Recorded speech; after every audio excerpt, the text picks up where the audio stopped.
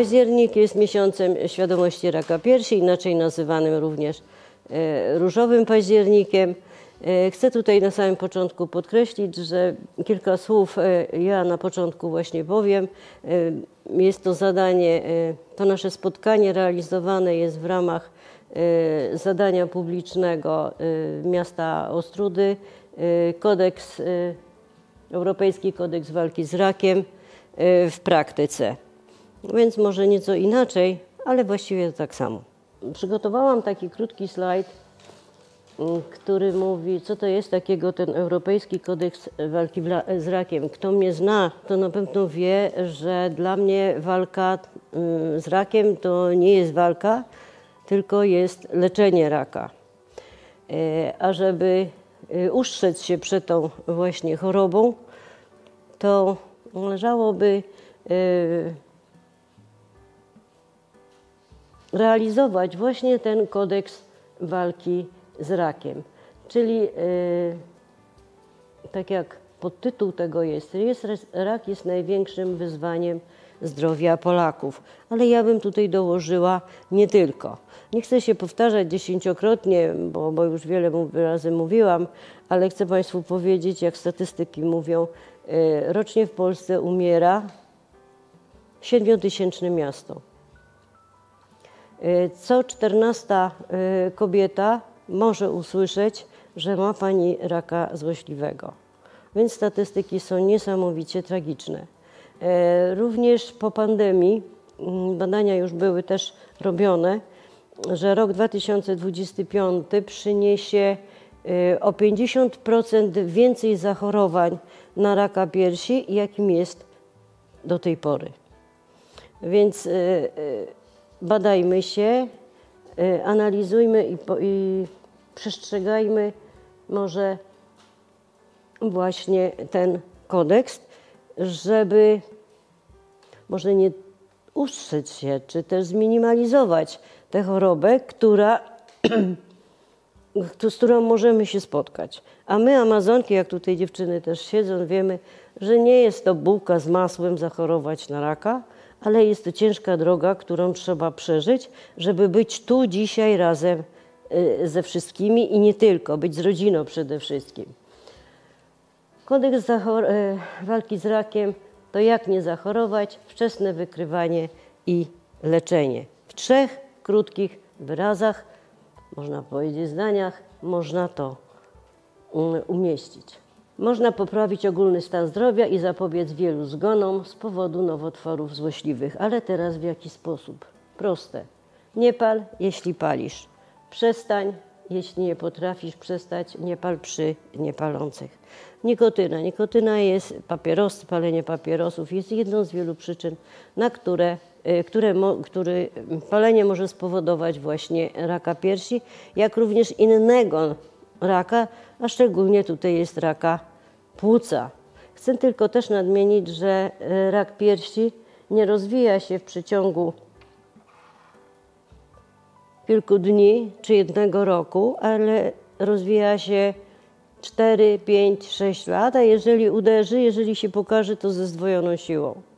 W związku z tym nie palmy papierosów. No niestety, ale jest to bardzo zły nawyk, który powiem krótko, po prostu nie tylko śmierdzi, ale idzie po kieszeni, a najważniejsze to jest na pierwszym miejscu, to jest właśnie, jest jedną z przyczyn y, choroby nowotworowej, jakim jest rak.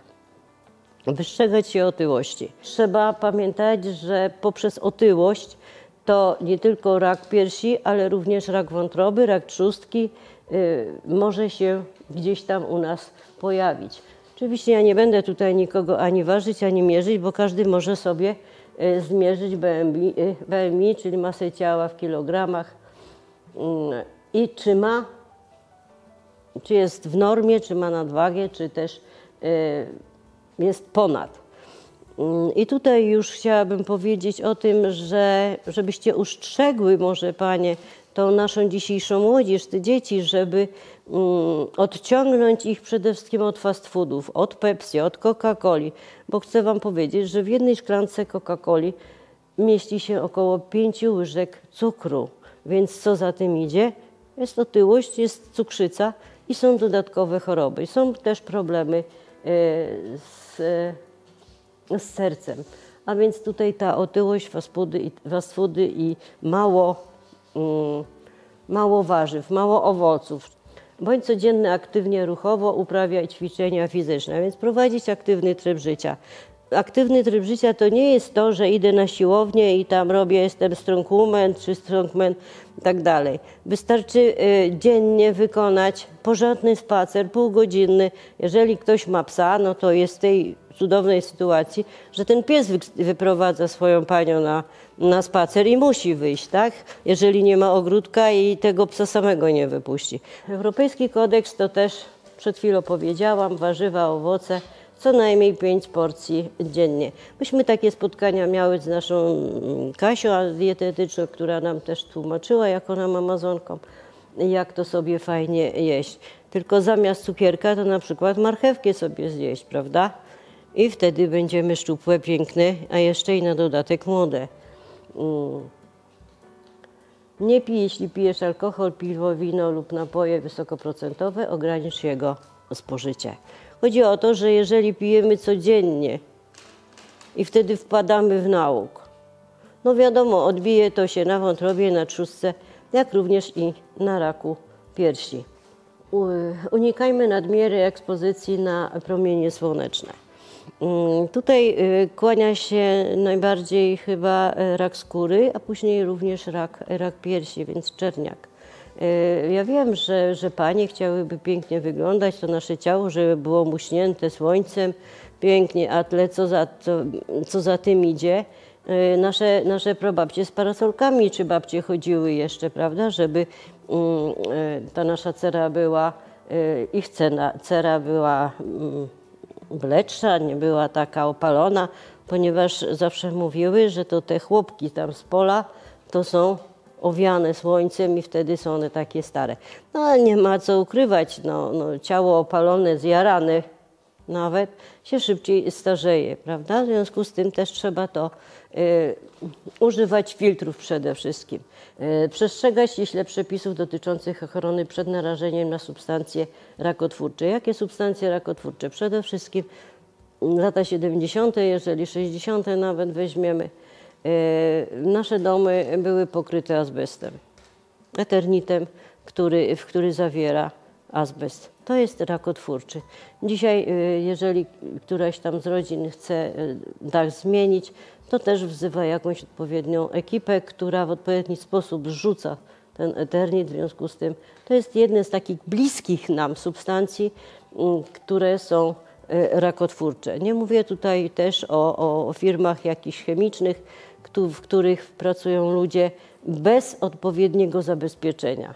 I tutaj ci ludzie, którzy mm, pracują w takich firmach, mm, to powinni być, y, wiedzieć o tym, y, że pracują w szczególnych warunkach, żeby się zabezpieczyć. To jest też jeden z czynników właśnie powodujących mm, raka, raka, raka płuc, skóry, a też to prawdopodobnie może mieć wpływ i na raka piersi.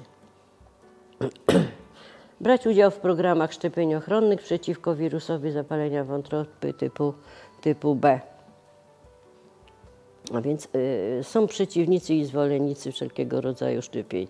Ja nie będę z tym walczyła, ja tylko mówię, że y, odkąd ja pamiętam, to szczepienia były i one y, chronią przed y, niechcianą chorobą. Y, tutaj szczególnie właśnie mm, mówię o wątroby, czy też y, HPV. Może kilka słów. Y, jest już taki program, który szczepi chłopców, jak i dziewczynki w wieku 12 bodajże lat, odpowiednich 13 już, prawda, i, i później też w dalszym, ale to już jest jakaś inna szczepionka. Mm, można to na zlecenie lekarza zaszczepić tak dziewczynkę, jak i, jak i chłopca. Więc przed Y, wirusem HPV. No niestety seksualność i, i, świat nie stoi w miejscu, tylko idzie do przodu. W związku z tym idziemy bardziej do XXI wieku, już nie do XX, czyli kontakt międzyludzki między różnymi, na całym świecie jest. No i można się pewnych niechcianych chorób nabawić. Kobiety po 25 roku życia powinny uczestniczyć w badaniach przesiewowych w kierunku szyjki macicy. Mm, to zakłada to Europejski Kodeks Walki z Rakiem. Y, nasze już y, przepisy mówią o tym, że w wieku już 20 lat każda kobieta powinna właściwie iść zrobić sobie USG, jak również odwiedzić ginekologa. Kobiety, jak i mężczyźni uczest powinni uczestniczyć w badaniach przesiewowych w kierunku raka jelita grubego, a panowie tutaj jeszcze też badania prostaty. Tak jak wyczytałam, tak jak wyczytałam, to już od 18 roku życia chłopiec, kawaler, mężczyzna powinien sam badać e, swoje jądra, ponieważ jest gro również w tej chwili zachorowań na, na prostatę, na raka, raka jąder. Mm, więc tak jak kobiety badają swoje piersi, tak e, dokonują samo badania piersi, tak i panowie, mm, panowie również. Y, przejdę do, do profilaktyki y, raka piersi. Głównym takim celem profilaktyki to jest nauka samobadania, samobadania piersi, uważam, i pewna wiedza wokół tego, tego problemu. Otóż wcale to nie jest takie, takie trudne to samobadanie piersi. Zaczynamy od, od początku, czyli z pozycji stojącej, stajemy przed lustrem zawsze y, z opuszczonymi rękoma, rękoma na biodrach, patrzymy, jaka ta nasza pierś jest. I żeby, y, żeby Wam nie mówić, jaka ona może być, to nic innego jak dzisiejsze tablice poglądowe przedstawiają. Co my możemy zaobserwować w tych, na, ta, na tych naszych y, piersiach, ale to też za chwilę. Ręka za głowę jedna, bierzemy palce i sposób taki, ja to zawsze mówię, y, jak są y, tarcza zegarowa, uciskamy w kierunku brodawki na każdą godzinę. No i tam po prostu macamy, prawda, dotykamy, y, wygniatamy, czy coś tam możemy zaobserwować. Dalej, ruchem okrężnym, ruchem okrężnym też takim spiralnym wokół w kierunku brodawki, czy też coś tam nie znajdziemy. Naciskamy również brodawkę, czy coś przypadkiem nie, e, nie wycieka. Możecie powiedzieć, panie, że owszem, przecież może wyciekać, tak? Jeżeli kobieta mnie ciążkuje, w związku z tym jest ten objaw, e, że jest jakiś wyciek, ale jeżeli on jest E, e, taki mleczny, prawda, no to jest ok, zależnie od tego, w jakim okresie cyklu ona jest. Natomiast jeżeli ten wyciek jest koloru powiedzmy zaróżowionego, czy też zielonego, no to już jest niestety, ale takie, takie coś niefajne. Ale to jest jeden, jeden z objawów. I to, to by były te ruchy wykonane, które wystarczą nam, żeby coś tam może wyczuć.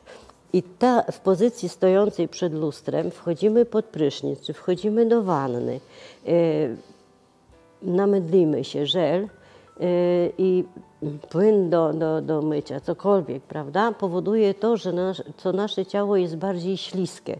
W związku z tym możemy głębiej yy, dokonać tego samo, samobadania i coś tam ewentualnie i nic nie wyczuć. Może tak. I jest wtedy ok.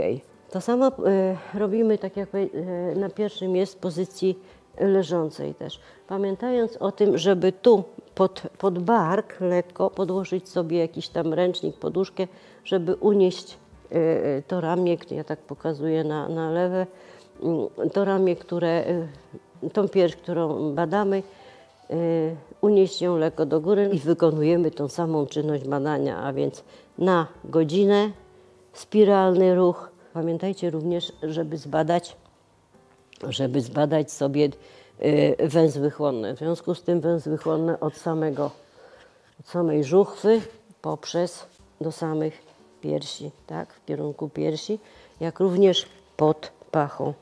Od pod sam biust, pod samą, samą pierś. Mm, Słuchajcie, moje panie, e, jeżeli mm, w lustro patrzycie, no to odbicie lustrzane, co, może, co można zaobserwować? To, co powiedziałam. Jak pierś podzielimy na cztery, na, na cztery ćwiartki, prawda, na cztery części, więc w tym prawym górnym, y, górnej części jest widoczne takie wybrzuszenie. Mm, To już, już też jest jako te, ten nowotwór, nowotwór, ja wie- nie mówię rak, proszę wziąć to pod uwagę. Mm, Już coś tam zaistniało. Coś tam zaistniało. Może też być takiego jak wklęsły. Yy, pierś zaczyna się, gdzieś tam coś zaczyna ją wciągać. Yy, Może być otarcie jakieś widoczne na zewnątrz. Tu należy zwrócić uwagę, czy to jest otarcie, które zostało spowodowane z dziś na jutro, czy z wczoraj na dzisiaj. Zauważam, czyli jednym słowem trzeba będzie pewnie zmienić biustonosz, więc zaobserwować, bo od koronki może się też to się otrzeć. Także tu jest bardzo wiele takich zmian y, pokazanych, jak y, na przykład y, taka przez lekarzy, przez nas mówiona różowa skórka, pomarańczowa skórka, ten wyciek z brodawki może być również też brodawka wciągnięta.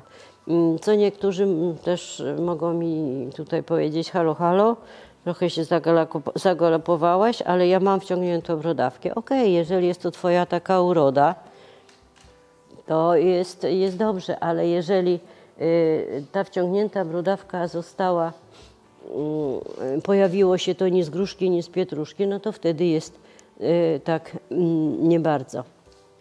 Badanie palpacyjne, czyli samo badanie, to muszę Wam powiedzieć, dziewczyny, że to jest obowiązek każdej z nas, każdej mamy, każdej córki, która wchodzi w wiek dorastania powinna swoje ciało znać i, i umieć samobadać tę swoją pierś, y, żeby w odpowiednim czasie, żeby w odpowiednim czasie y, zauważyć, że coś tam się dzieje. Ja wiem, że, y, że cokolwiek byście nie zauważyły w swojej piersi, to robicie oczy jak młyńskie koła, bo ja też tak miałam, chociaż to było krótkie bo ja miałam z dziś na jutro badanie, ale pomijając moje. Yy, I, I nie wyczułam wcześniej przed, przed yy, tym dniem, kiedy, kiedy ewidentnie złapałam ten guzik i, i, i go wymacałam. Też badałam pierś, ale on się zrobił nie wiadomo jak długo to było i, i tam się rozrastał. Dlatego obserwujmy swoje ciało od najmłodszych lat. Nie ma granicy, że, że od 18 roku życia czy od 15. Dzisiaj dziewczyny bardzo wcześnie dojrzewają, dzisiaj dziewczyny y, y, są wyrośnięte, można powiedzieć. W związku z tym już je nauczyć tego samo badania piersi, obserwowania y, y, swojego ciała. I, i dbania o to, y, żeby jednak dbały o siebie. Y, Może paść pytanie, kiedy? Samo badanie piersi dokonujemy między siódmym a dziesiątym dniem cyklu, czyli jak gdyby mm, dwa dni po okresie. y, Wtedy, wtedy te nasze piersi są najbardziej dogodne do tego, żeby je samemu zbadać. I te, mm, jeżeli miesiączkujemy, to wtedy właśnie, jak mówię, między siódmym a dziesiątym dniem cyklu. Natomiast jeżeli kobieta już nie miesiączkuje, to y, wybrać sobie jeden dzień w miesiącu na takie samo badanie. Jeden dzień w miesiącu, y, to zależy od Was. I tutaj też ukłony do, do Waszych y, mężów, partnerów, kochanków, żeby też badali swoje piersi, bo jak wiecie, jeden na sto może zachorować na raka, na raka piersi y, pan. A, a też y, tutaj zwrócić uwagę mm, panom, żeby jednak y, badali też swoje jądra.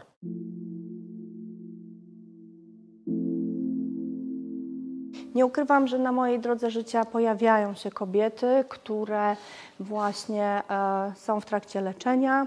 E, jest to nowotwór, który jest umieszczony, umieszczony jest przede wszystkim w piersi, ale również i w innych częściach ciała.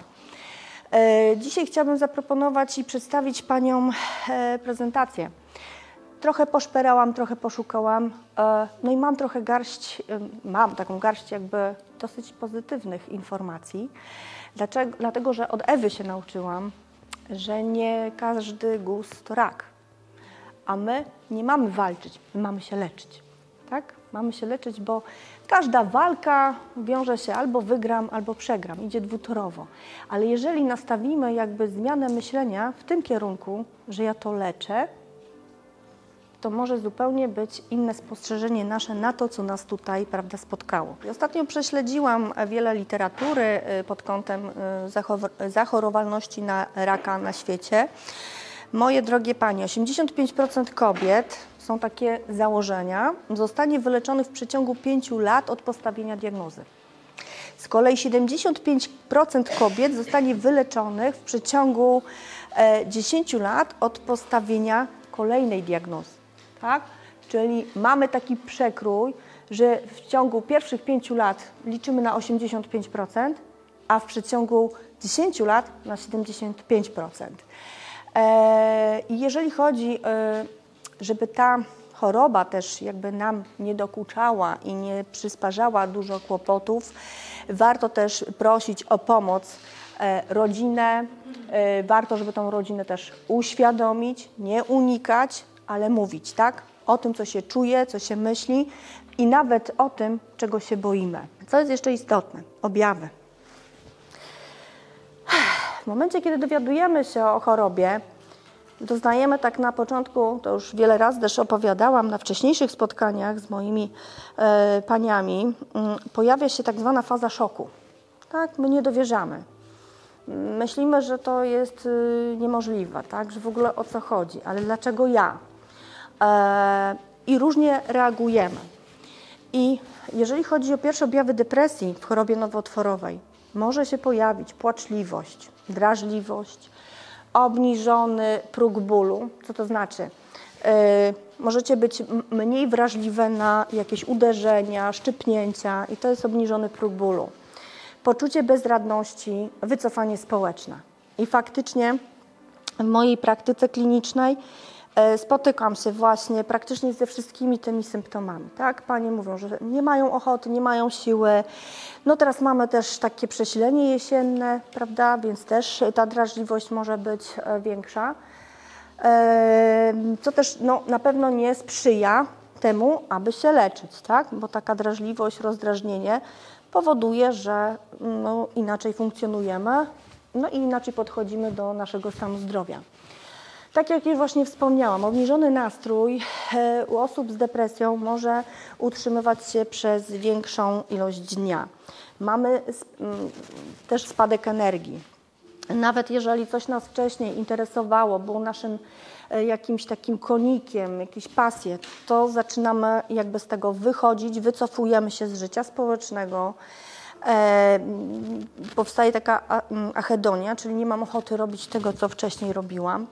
No, obserwując też moich pacjentów, zauważam, że oprócz tego, że pojawia się zaburzenia koncentracji uwagi, zaburzenia snu, zaburzenia łaknienia się pojawiają, e, co jeszcze? Mm, em, I u mężczyzn, i u kobiet, zaburzenia popędu seksualnego, ale przede wszystkim pojawiają się myśli samobójcze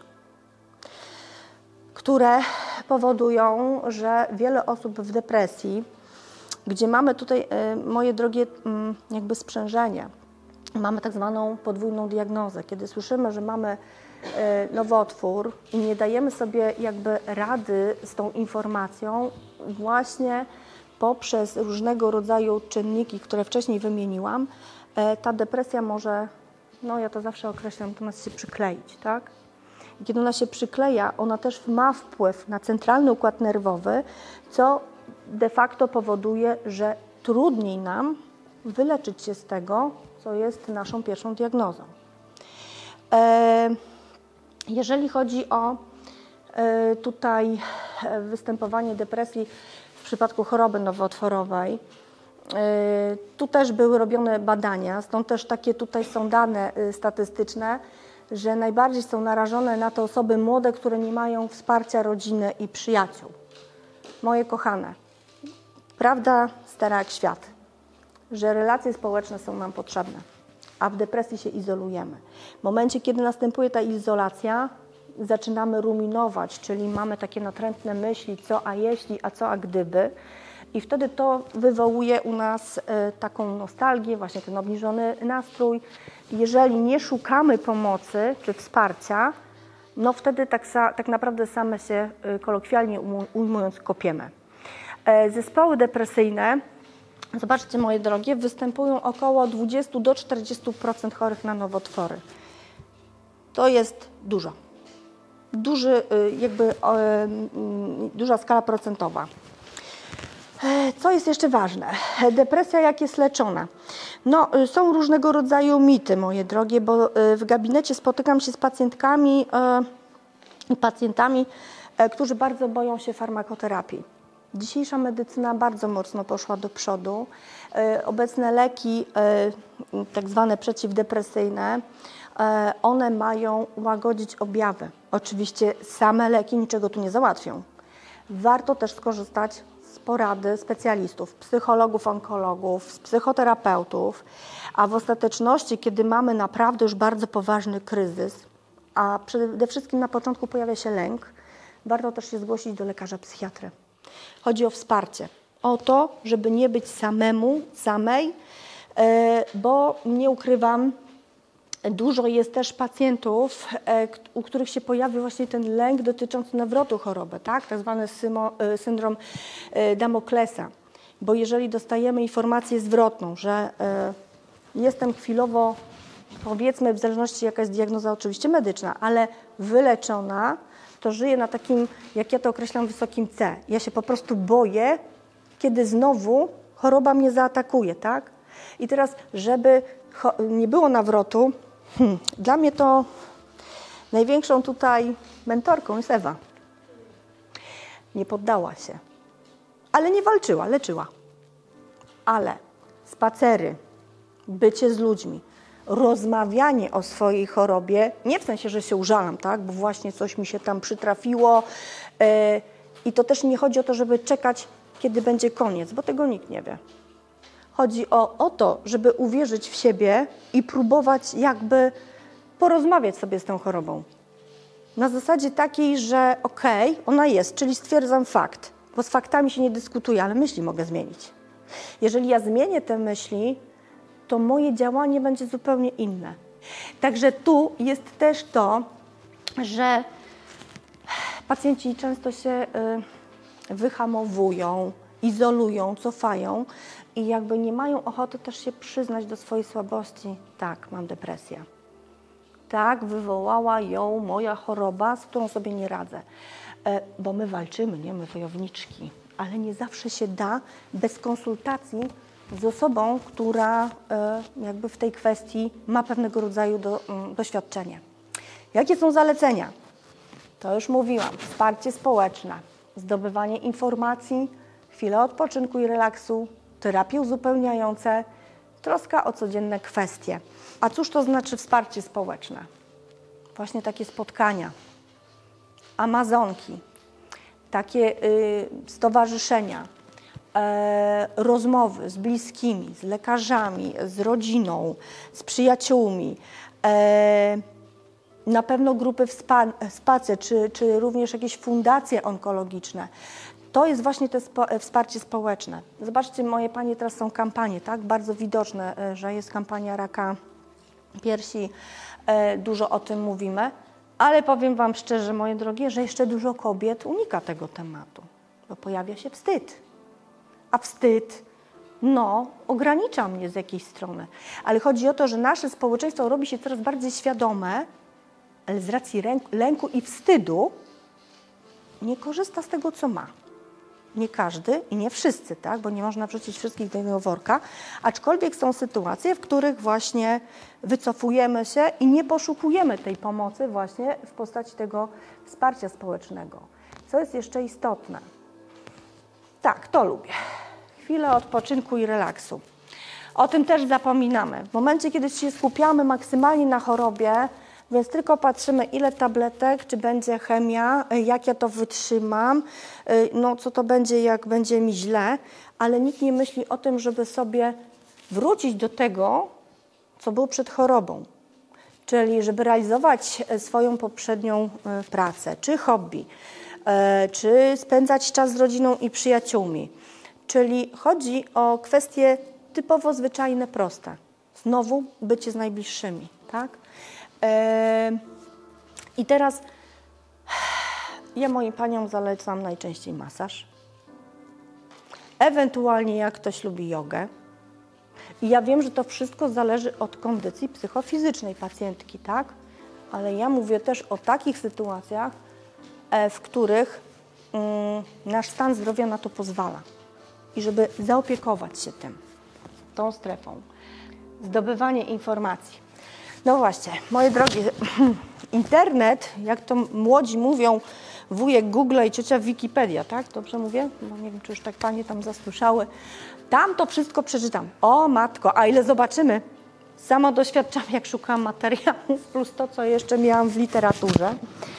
E, tak, to jest czasami zaskakujące, co jest wypisane. Oczywiście ludzie różne treści tam wrzucają, e, jedni e, są szczerzy, inni troszeczkę naciągają rzeczywistość, ale najlepiej jakby swoją wiedzę i e, swoją jakby mm, informację, którą chcę uzyskać o chorobie, warto by było uzupełniać w kontekście rozmów ze specjalistami, tak? Lekarze, onkolodzy, Oczywiście jest wszelakiego rodzaju dostępna literatura. Warto aktualizować swoje sprawy y, związane ze stanem zdrowia, które nas niepokoją. Y, po to też y, tutaj wizyty u lekarza onkologa, tak? czy różnego rodzaju badania mamograficzne, więc jakby ta wiedza jest nam potrzebna. A po co? Żeby, żeby jakby ten nasz poziom lęku redukować, tak? Bo kiedy się czegoś lękamy, obawiamy, no niestety y, to jest jakby też problematyczne z racji tego, że nie jesteśmy w stanie wyzdrowieć. No bo lęk wywołuje różnego u nas rodzaju myśli, zachowania, co ma przełożenie na wycofanie społeczne i stany depresyjne, tak? Troska o codzienne kwestie. No, jeżeli chodzi o diagnozę może powodować różnego rodzaju problemy i mam świadomość, tak? Często utrata pracy, to są e, związane właśnie z zakwaterowaniem, czy obawy, obawy związane z relacjami z innymi ludźmi.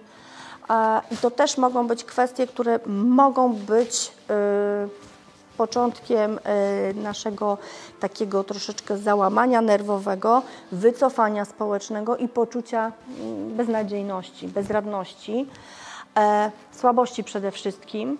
E, I znowu, kolejny raz odsyłam do rodziny i przyjaciół. Ponownie fundację, bo y, tak jak mówiłam, nasze społeczeństwo jest coraz bardziej świadome, ale nie zawsze akceptujące. A jeżeli mamy wsparcie wśród rodziny, przyjaciół, y, mamy właśnie stowarzyszenie takie jak nasza tutaj Amazonki, tak, nasze więc warto też korzystać. To nie jest tak, że Panie jesteście same. Tak? I warto z tego korzystać, żebyście o tym pamiętały, że w tej chorobie nie jesteście same, tylko chodzi o to, żeby się otworzyć na tego drugiego człowieka i też zaufać.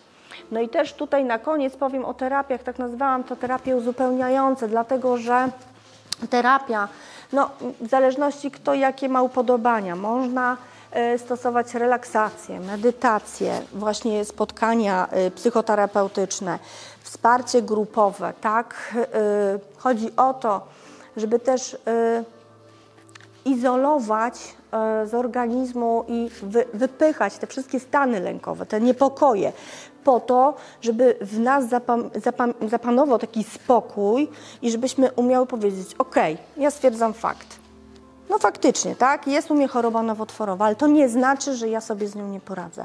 Chodzi o to, żeby też uwierzyć w siebie, e, bo mam przykład wielu pacjentek, kiedy rozmawiałyśmy, jedna z pań, pamiętam, mi powiedziała, Pani Marto, już nie daje rady. Ja mówię, a jak Pani nie daje rady? Przecież Pani z mną rozmawia. Przecież Pani tu jest. Ja mówię, co Pani zrobiła? No tam i opowiada, tak? Ja mówię, to jak pani nie daje rady? No daje pani radę, tylko trochę inaczej, ale daje pani radę. I szukałyśmy motywacji, dla której. I były to wnuczęta. Nie ma przerzutów, działa, ale uwierzyła w siebie. Po prostu psychika bardzo dużo robi i jest bardzo ważna w leczeniu e, choroby nowotworowej, a każda depresja, każdy lęk jakby osłabia organizm i o tym trzeba pamiętać. No i teraz tak. E, zanim zaczniemy też leczyć osobę e, w chorobie nowotworowej na depresję, na początku każdy specjalista powinien wykluczyć e, inne przyczyny mające wpływ na wystąpienie objawów. E, wiecie, kochane, w chorobie nowotworowej mogą być zaburzenia też hormonalne lub metaboliczne. Pewne rzeczy trzeba wykluczyć. Tutaj mm, faktycznie depresja też e, równa się leczenie farmakotera e, farmakoterapią, ale równoległa powinna być też psychoterapia. Bo leki, one mają działanie, ale w kontekście pracy terapeutycznej. Bo często jest tak, że w naszym mózgu jest tak zwana przysadka mózgowa i ona jest odpowiedzialna za wytwarzanie serotoniny i dopaminy, hormon szczęścia i działania. Jeżeli tego jest za mało, musimy dostymulować lekami.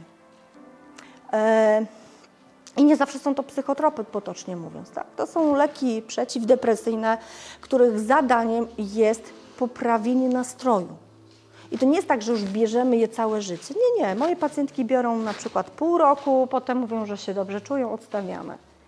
Ale jest też tak, że przez wakacje działamy sobie bez leków, ale przychodzi właśnie taka chwila jak teraz, czyli mamy, moje drogie panie, dwa razy w roku jest przesilenie jesienno-zimowe i potem mamy przesilenie zimowo-wiosenne. I to są dwie pory roku, w którym nam się nastrój obniża, z racji tego, że e, no, mamy dosyć krótki dzień, długą noc, brakuje nam tego niebieskiego światła, słońca, więc też zawsze zalecamy tutaj pacjentom suplementowanie witaminami, chociażby z grupy D3, B6, B12. O tym też trzeba pamiętać. Dziewczyny, zobaczcie, 168 klubów Amazonek czeka z pomocą. E, tutaj e, bohaterowie i wyleczeni są wśród nas, zwykłych ludzi. To mnie uchwyciło, bo ja znam takich bohaterów.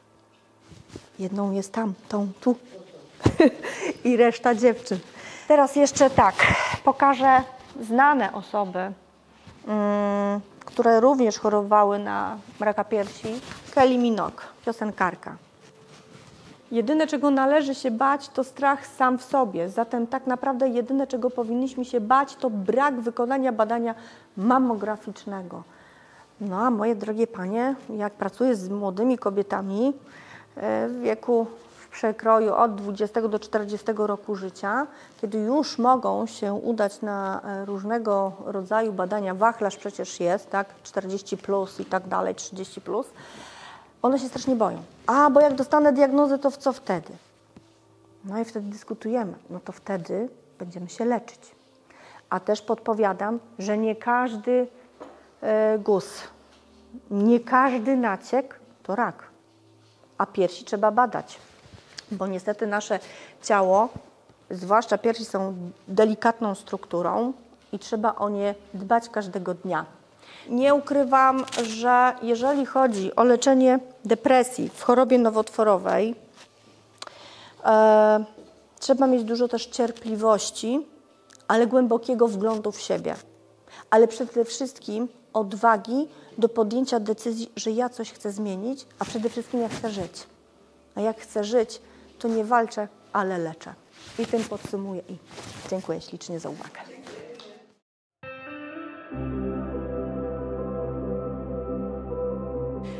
W mojej pracy zajmuję się koordynacją e, e, pacjentów, jestem opiekunem pacjenta, jak również koordynuję pacjentów DILO. E, Taką pracą u nas e, w, w Numedzie e, zajmują się cztery koordynatorki. E, Dwie pracują e, na miejscu w Elblągu, zajmują się pacjentami onkologicznymi e, w poradni która, e, onkologicznej, która znajduje się w Elblągu. E, Dwie pracują w terenie, w tym ja. Moja praca polega na koordynacji, prowadzeniu pacjenta e, tak naprawdę czasami od początku, czyli od momentu rejestracji, e, jak również do momentu, kiedy lekarz decyduje się pacjentowi wystawić kartę DILO. E, Karta DILO jest to tak zwana zielona karta, czyli upoważnia tego pacjenta do szybszej diagnostyki. Jeśli lekarz uzna, że e, pacjent wymaga szybkiej diagnostyki, my koordynatorki e, taką kartę wystawiamy i w zależności od tego, czy jest to e, podejrzenie nowotworu, czy też jest już ten nowotwór stwierdzony, e, dalej koordynujemy te e, działania. Czyli e, lekarz zleca, e, powiedzmy pacjentowi, badania do wykonania, e, my się już tym zajmujemy. Czyli takie badania umawiamy my, koordynatorki. E, Co za tym idzie, odbieramy wyniki tych badań, umawiamy pacjenta na kolejną wizytę z tymi badaniami. Jeśli trzeba, kierujemy całą, całą dokumentację na konsylium. Często jest tak, że ta choroba nowotworowa się nie potwierdza, więc zamykamy kartę DILO i po wszystkim. A czasami e, musimy tego pacjenta doprowadzić e, do konsylium, gdzie jest ustalany plan e, leczenia. Pacjent często jest zdezorientowany na takiej wizycie, jeśli usłyszy diagnozę bądź też podejrzenie, więc pacjenci ogólnie są bardzo zadowoleni później w tym dalszym etapie, że to my zajmujemy się tak naprawdę tą dokumentacją, dlatego że taki pacjent wychodząc z gabinetu, on nie musi się martwić tym, e, czy gdzie, gdzie w ogóle i jak umówić sobie te wyniki. Czeka po prostu na telefon od nas. E, Poradnie, które mm, mamy, mm, to są poradnie mm, w, znajdujące się w Elblągu. Tam jest poradnia onkologiczna, również hematologiczna. E, Poradnie w Iławie, gdzie jest poradnia e, onkologiczna, poradnie w Działdowie, chirurgia onkologiczna, onkologiczna, no i w Ostrudzie, gdzie również jest poradnia onkologiczna, chirurgii onkologicznej, jak również pracownia mamograficzna i pracownia USG. Jeśli chodzi o umawianie na e, wizyty, na przykład u nas tutaj w Ostrudzie, e, jest infolinia, która e, działa od godziny 8 do 16, czy tam chyba nawet 17. Można dzwonić również do mnie. Do mnie również można przyjść. Ja jestem zazwyczaj w środy tutaj w pracowni mamograficznej i można przyjść się zarejestrować. Numer mój telefonu również jest podany na ulotkach. No i cóż, no w takiej koordynacji na pewno trzeba być osobą odpowiedzialną. Jeśli się takiego pacjenta prowadzi, empatyczną, e, trzeba mieć dobry kontakt z ludźmi przede wszystkim, czyli e, z tym naszym pacjentem, ale również z lekarzami, e, z całym personelem medycznym. Jeśli chodzi o mamografię, jeszcze wspomnę, ponieważ tak jak Ewa tutaj mówiła, ma być rozszerzony ten przedział wiekowy 45-74. Jak ktoś potrzebuje dostać się na mamografię, nie musi e, być nawet w tych przedziałach, ponieważ wystarczy, e, że umówi się do nas do e, poradni onkologicznej, gdzie lekarze wystawiają skierowania e, do pracowni mamograficznej i USG, które jest też wykonywane nie tylko u doktora Roszkowskiego, ale również u nas na Kościuszki 2 w tym momencie. Rak zabiera, ale i daje. Wiem, że się boisz. Widzę ciebie, jak odbierasz wyniki biopsji, czytasz kilka razy, bo wciąż to do ciebie nie dociera. Karcinoma i winiców mammę. Znaleziono komórki nowotworowe złośliwe. Rak. Rozumiesz, że masz raka piersi, ale nic nie czujesz. Ani smutku, ani złości.